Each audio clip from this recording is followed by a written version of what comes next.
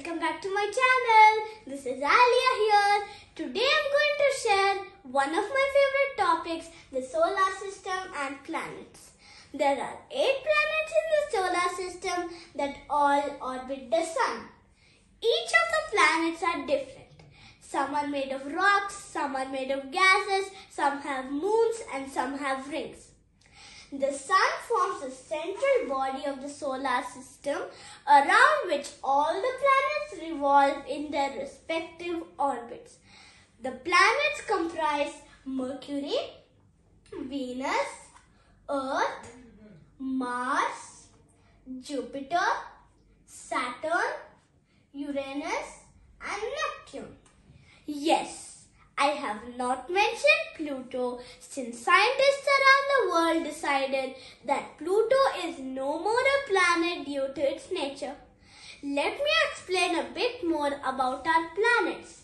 Mercury is the smallest and the closest planet to the Sun.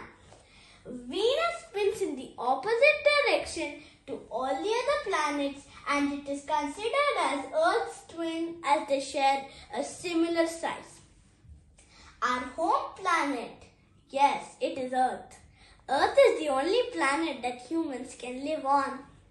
Mars is known as a red planet because of its reddish appearance.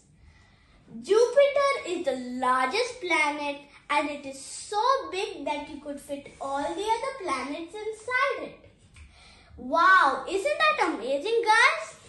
Saturn is the second biggest planet but it is also known as the lightest since it is made almost entirely of gas.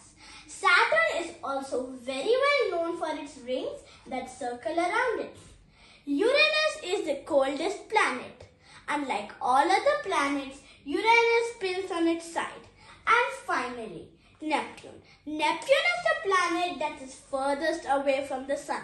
Neptune has the strongest winds in the solar system. I would recommend if you are interested to learn about the solar system just like the way I do, then you need to read a lot of books that will make you knowledgeable about the solar system. Thank you for watching my videos. I'm sure you gained a lot of knowledge about the solar system. Thank you.